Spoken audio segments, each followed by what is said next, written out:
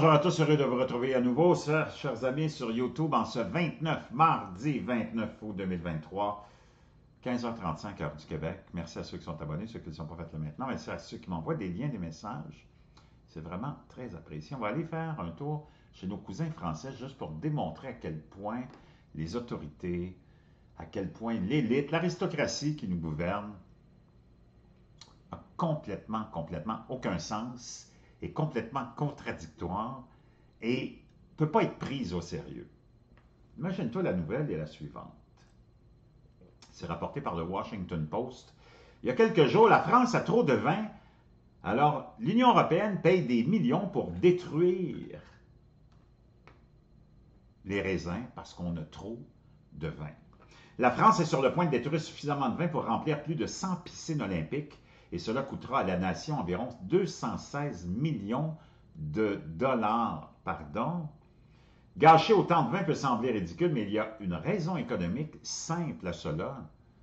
La fabrication du vin devient de plus en plus chère, en partie à cause des récents événements mondiaux, et les gens en boivent moins.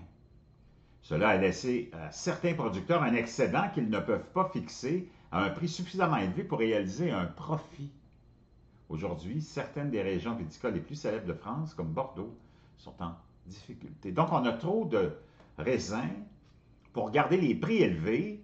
Ces, cabochons-là vont détruire suffisamment de raisins pour avoir produit, qui auraient pu produire beaucoup de bouteilles de vin pour faire baisser le prix et en faire consommer plus. Mais ces gens-là, ils pensent à l'envers. On dépense de l'argent qui n'existe pas pendant que le monde est en famine, dans la misère, on va payer pour détruire du raisin.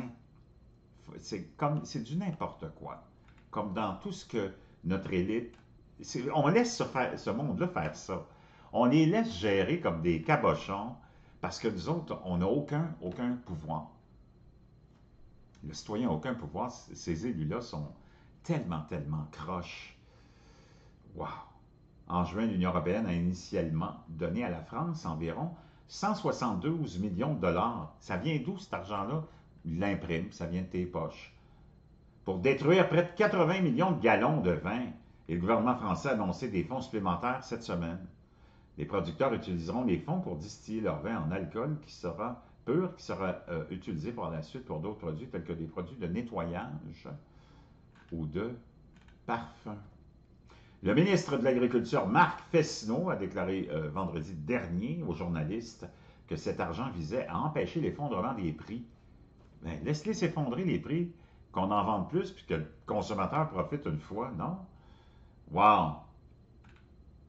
La baisse de la consommation de vin n'est pas nouvelle, selon Olivier euh, Gergaud, professeur d'économie en France au euh, Business School Kedge, qui étudie l'alimentation l'alimentation et le vin. La consommation de vin en France est en chute libre depuis son pic de 1926, lorsque le citoyen français buvait en moyenne environ 136 litres de vin par année. Aujourd'hui, ces chiffres sont plus proches du 40. Euh, wow! Donc, vraiment très, très révoltant de voir qu'on paye pour détruire puis jeter du, mais dans le fond, ils vont le recycler aussi pour faire d'autres produits. il y a des fonds qui vont être utilisés, il y en a qui l'ont jeté, d'autres qui vont être utilisés pour... C'est du n'importe quoi. C'est comme ici, au Québec, on a l'agriculture qui est complètement gérée euh, de façon communiste. Les agriculteurs n'ont pas la liberté de faire ce qu'ils veulent. Il y a des quotas, par exemple, dans tous les domaines, que ce soit de la production acérica, c'est-à-dire le sirop d'érable, ou la production de lait, c'est la plus commune, il y a des quotas qui sont imposés par, par le, secteur, par euh, les autorités, à chaque producteur de lait. Et si tu produis trop de lait, il faut que tu le jettes au lavabo. C'est du n'importe quoi. Ces gens-là, ces gens-là, ils se demandent après qu'on les aime pas. Ben, je pense que tu as ta réponse. Tu le sais pourquoi on les aime pas. Hein? C'est pour ça. C'est pour des stupidités comme celle-là, entre autres, mais il y en a tellement. Je vous laisse ça dans la boîte de description, cet article-là. C'est vraiment, vraiment du n'importe quoi.